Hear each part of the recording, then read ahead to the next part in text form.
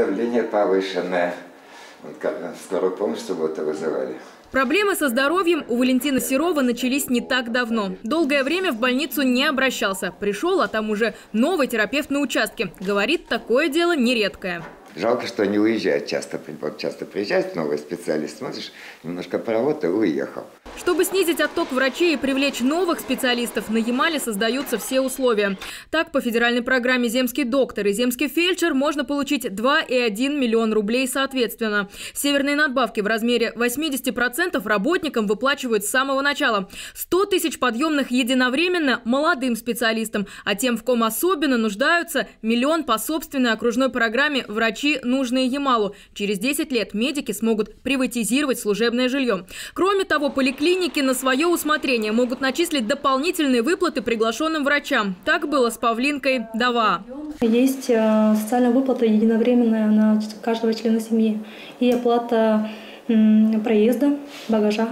При этом приезжают медики с обширным опытом и стажем. Ильдару Шамсудинову в свое время довелось поработать не только онкологом. Приходилось работать и травматологом, и хирургом, совмещать должности так как э, специалистов не хватало. Лучше было бы, конечно, для населения, для больницы, если бы были бы установлены аппараты компьютерной томографии, магнитно-резонансной томографии.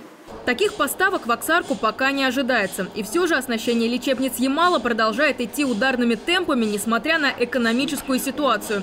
Так, совсем недавно в Шурышкарском районе появились новые дефибрилляторы. В Мужевской и Муравленковской больницах лабораторное оборудование, в Тазовском – цифровой флюорограф.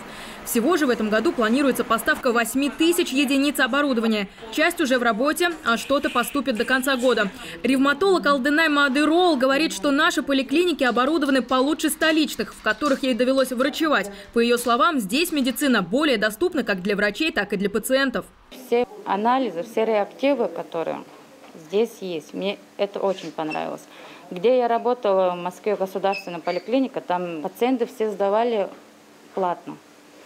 Здесь вот э, аутоиммунные некоторые анализы, здесь есть, быстрый диагноз можешь поставить. С этим согласна участковый педиатр Анастасия Петрухина. Объясняет, на Ямале региональный календарь прививок включает в себя те вакцины, за которые в большинстве субъектов придется заплатить. Кстати, она одна из тех, кто останется здесь надолго, как минимум на 5 лет.